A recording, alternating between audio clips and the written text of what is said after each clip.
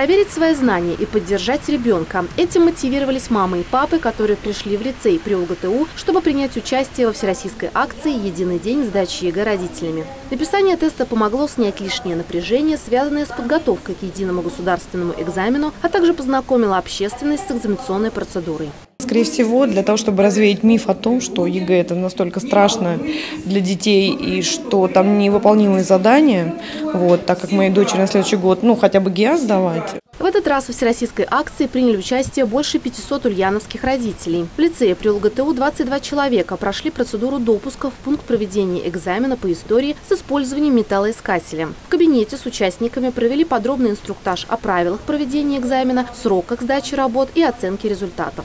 Зарегистрировано 22 человека, две аудитории будет. Итог подводится. После 2 марта э, будут итоги, родители могут позвонить по телефону в нашу учебную часть и узнать результаты. В этом году особое внимание уделяется информационной безопасности. При сдаче единого государственного экзамена все пункты будут получать материалы по интернету, а печать и сканирование экзаменационных бланков для участников проходить непосредственно в аудиториях. По словам специалистов, это сократит возможность влияния человеческого фактора на результаты, сэкономит средства на доставку экзаменационных материалов на места, а также снизит нагрузку на организаторов. Наталья Чумаченко, Юрий Ломатов. Новости Улправда ТВ.